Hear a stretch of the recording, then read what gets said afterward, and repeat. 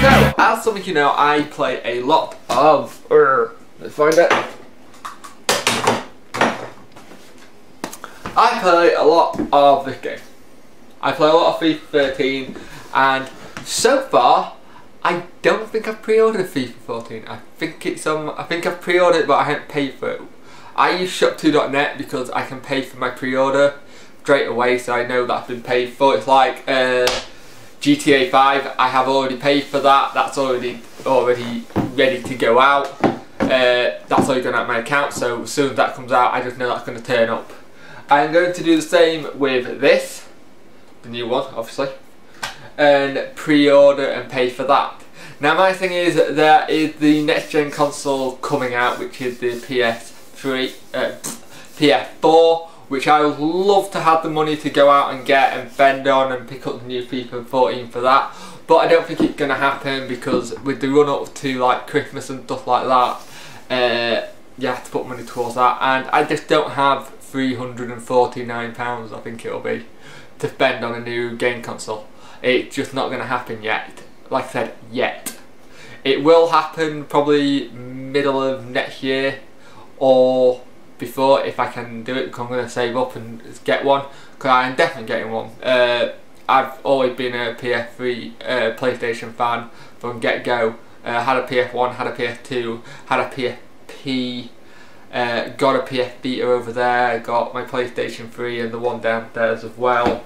I could get rid of one of my PlayStation 3 to pick up a PlayStation 4 and have it a trade-in and see what I could get but I doubt I'd get much for it. Uh, it's not like it's one of the new slimline jobs where it's flat with the slide top. I hate that. I hate that slide top so much. I prefer this, the old one. It's just nicer, my opinion.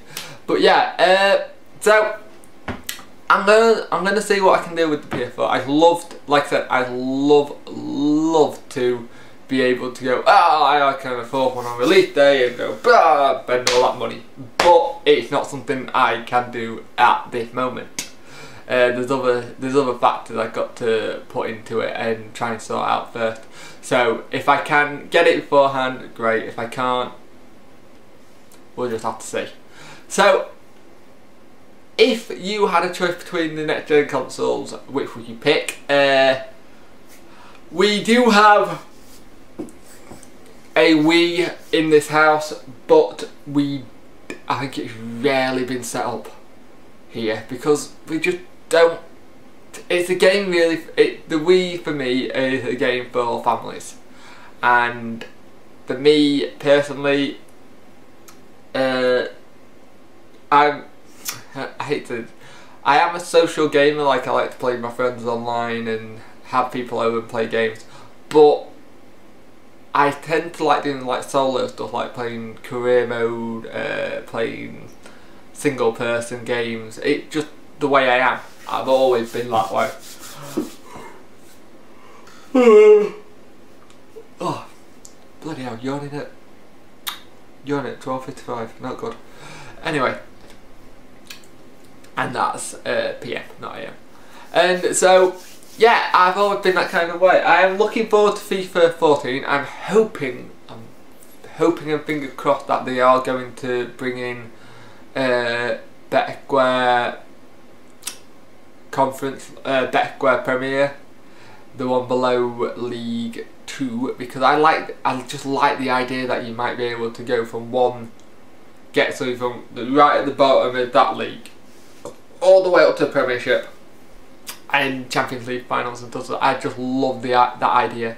If that happens, I it'll be interesting to see who you will pick and who how uh, people like on who do career mode would go as well. Because that is the case, I think there's going to be some interesting players that will get good. Because if you think about it, a lot of those players are either going to be part timers or they're going to be professional, but they're going to be. Some players that no one's ever heard of could be an absolute diamond. So it'll be interesting to what happens with that. Um, that's it to be my cat treasure at a minute, so I apologise for keep saying that. So yeah, I'm gonna probably gonna pre-order that next month. Uh, look at and in a sense look at seeing if I can order a PS4 or something.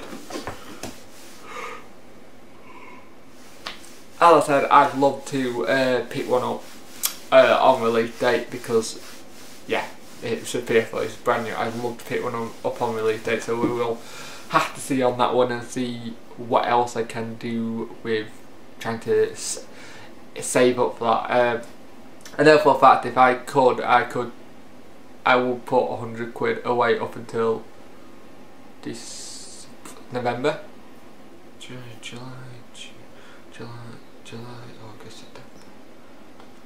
That will give me four months to get the uh, money for it, but it's a lot of money to put away, and I need money to live and stuff. So we'll see.